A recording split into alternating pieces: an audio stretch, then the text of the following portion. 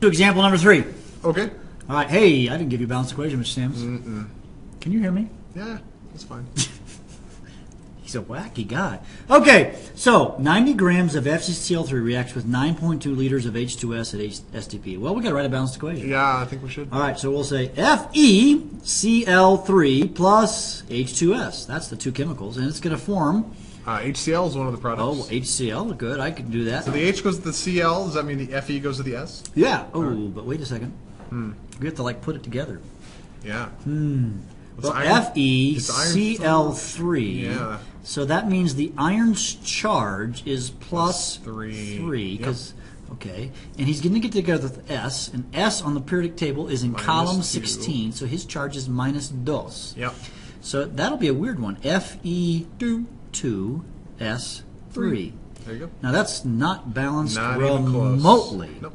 So how do I put a two? I'm going to say this is my most complex one. Put a one Mm-hmm. yeah, there, right? How we did that before. Okay. And that's going to make this a two, and that gives me six chlorines. So I'll put a six here. Uh-huh. That gives me six hydrogens. So if I put a three here, hey, that's it. Two, three, six, one. Okay. So FeCl3, we have 90.0 grams, Mm-hmm. And we have 9.2 liters of this. It says, what is the limiting reactant? But actually, it's almost better to ask this question. What is the mass first? Yeah. Mass of HCl. So I'll say question mark grams. So we're going to convert liters of this to grams of this, grams of this to grams of this. Lowest one wins. Yep. Let's go. All right, we'll do some stoichiometry. Some stoichiometry. Say stoichiometry. Huh? Stoichiometry. Can't hear it. Okay. 90.0 grams Okay. of FeCl3 No negative numbers. Fully over clad. 1.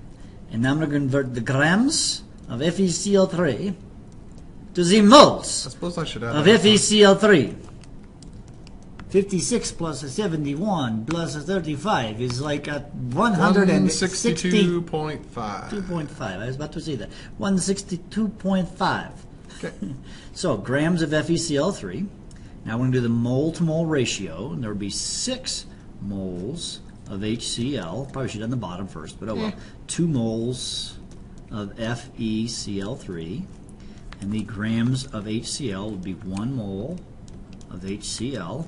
I don't need to, this one. This will be 36.5 grams of HCl. All right? Yep. So it's a gram to gram problem. We've done quite a few already today. Yes, we have. And we get 60 point- 60.6 grams. 60.6 grams of HCl. Hey, guess what? What? Let's do another one. Yeah, we just got to keep doing more. Yep, gotta hey, do but this is a little different H2S. because this is a Ooh, liter to gram problem. So I've got 9.2 liters of H2S. And it's at STP. so we can use that 22.4. 22.4. Later on, we'll learn how to deal with non-STP Yeah. conditions. So we'll say liters of H2S to one mole of H2S. And that number is 22.4. And Oh. then we're going to say Uh, 6 moles yeah. H- of HCl And is three. equal to 3 moles of H2S. We're getting there. Yep. Hey, and Hey, we could use the last one the same again. 36.5 grams of HCl to 1 mole of HCl. And that gives us what? Point oh, a small number. two 0.82 grams. grams of HCl. So obviously, this is the limiting reactant. Yep. We're going to run out of H2S first. Yep. So now what we want to do is hmm. answer the question, I Yes. guess. This is actually the answer to what is the mass of the HCl. Okay. And then what is the limiting reactant? That's the 9.2 liters of H2S, the one that produced this the is the limiting amount. reactant. That makes this the excess reactant. Okay, so what amount then of the excess is left over? So we're We going to convert liters of this another to grams of this. Yeah. All right, let's get a blank screen because we need more space. 9.2 Okay.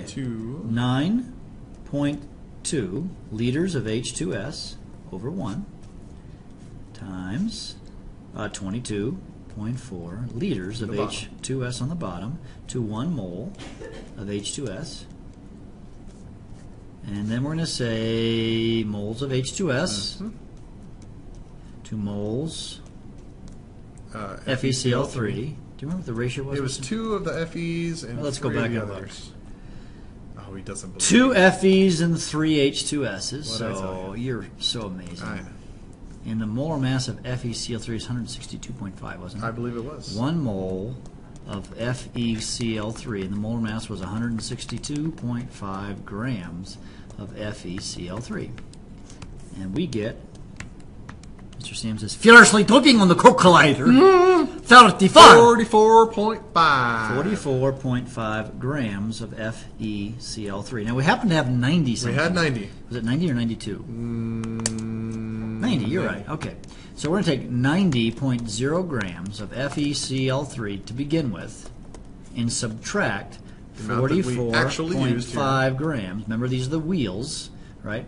Um, the 90 grams is how many wheels we had, and the 44 grams is essentially how many wheels we used we up. used And the difference between those, 45.5. about a half of it, isn't it? 45.5 grams of FeCl3 remains. So just a subtraction. Yeah. See, guys, it's just a matter of doing stoichiometry like a, one, two, three, four, five, lots of times. And yeah, it's just kind of annoying that way, I think. Yeah, you just got to do it. Yeah, and so No you're going to do a worksheet. We're going to do so much stoichiometry, and you're going to become so good at it. You're going to be like amazing. And that's a good thing because uh, second semester, you yeah, use it. you get to, yeah. Stoichiometry is kind of like the theme for the rest of the year. Mm-hmm. Math, math, math. Okay, so I think we don't need to do more examples, do we? I think we're probably good. I think we're good. I think you're good. You're probably tired of us. If you want more